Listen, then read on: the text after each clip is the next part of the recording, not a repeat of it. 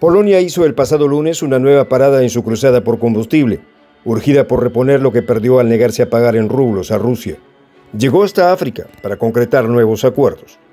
El encargado de la misión fue el presidente polaco Andrzej Duda, quien se reunió con el presidente egipcio Abdel Fattah al-Sisi para intentar convertir a esta nación en la nueva proveedora de gas de Europa. Los detalles de esta historia los conocerás a continuación. Quédate con nosotros.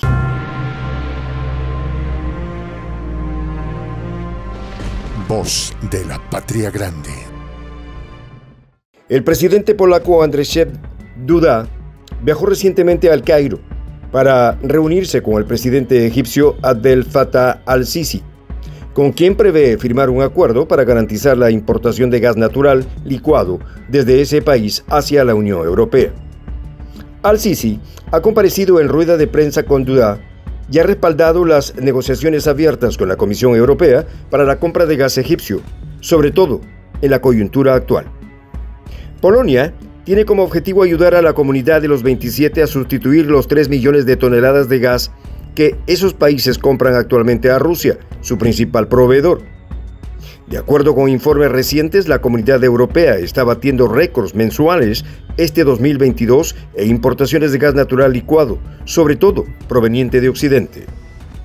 Un convenio firmado hace poco con Washington estima que este país suministrará 15 mil millones de metros cúbicos adicionales en el 2022 a Bruselas, con el objetivo de elevar el suministro anual a 50 mil millones de metros cúbicos antes del 2030. Mientras tanto, siguen recibiendo los más de 6 mil millones de metros cúbicos diarios de gas desde Rusia, lo que representa aproximadamente el 43% del gas producido en el mercado mundial.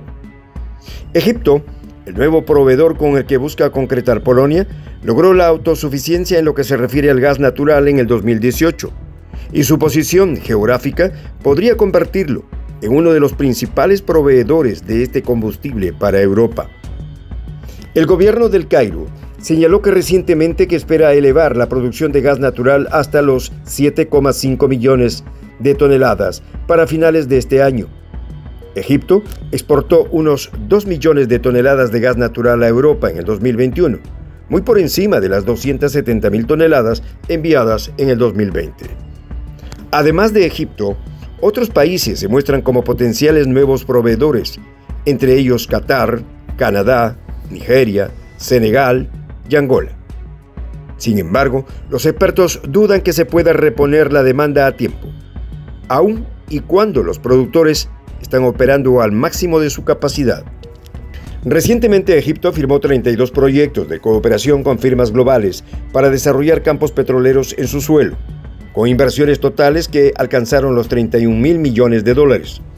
Recientemente el ministro de Petróleo y Recursos Minerales Tarek Al-Molla reveló que se avanzan en los estudios sísmicos tridimensionales en un área de 6.700 kilómetros cuadrados en la costa del Mar Rojo como parte de los esfuerzos para incrementar la producción petrolera del país.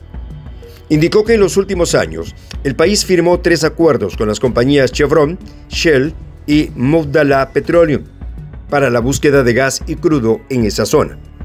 Según cifras oficiales, esta nación norafricana produce de 6,5 a 7,0 billones de pies cúbicos de gas diarios, aunque para el próximo año fiscal se proyecta sumar otros 450 millones de pies cúbicos cada 24 horas. Por otra parte, las autoridades egipcias recordaron que desde el 2014 hasta la fecha se han firmado 108 acuerdos en el sector petrolero con empresas nacionales y extranjeras. En ese sentido, el Ejecutivo egipcio resaltó la importancia de ocho megaproyectos de refinación de crudo, ya que en marcha que redujeron las importaciones de este combustible en un 30%. En este escenario, es natural que Europa busque arrimarse a la sombra de Egipto que se erige como una potencia energética para solucionar los problemas que los propios socios europeos crearon en su región. Bruselas busca abastecerse de gas natural licuado para sustituir los 3 millones de toneladas de gas que compra actualmente a Rusia, su principal proveedor.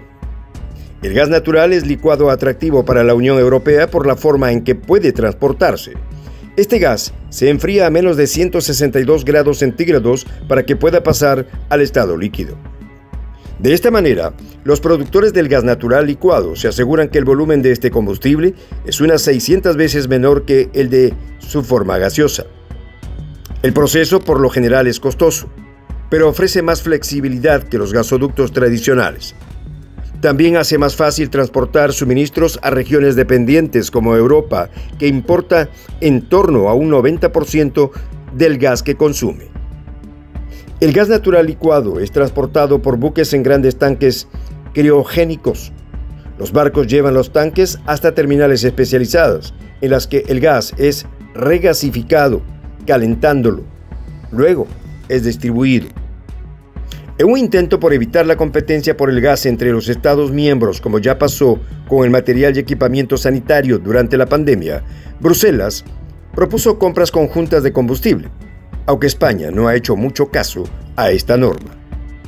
Otro gran inconveniente es que la actual red de gas natural licuado está muy concentrada en los países costeros occidentales, dejando desconectado a gran parte del este y centro de Europa, una situación que perpetúa su dependencia del combustible ruso.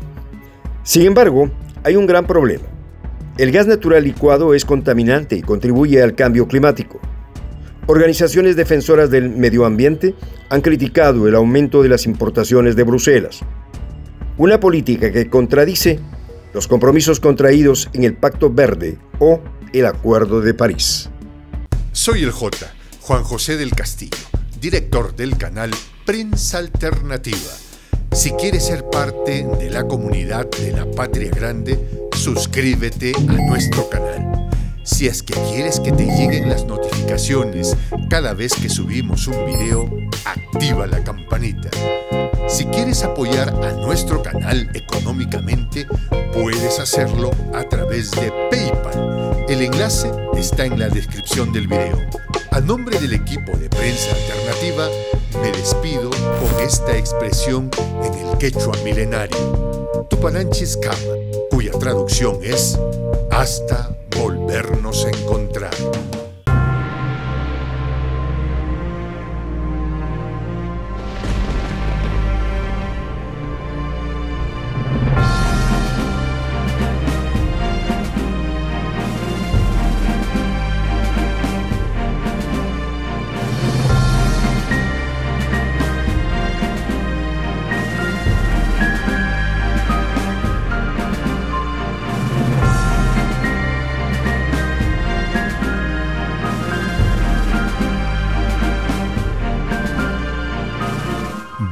De la patria grande.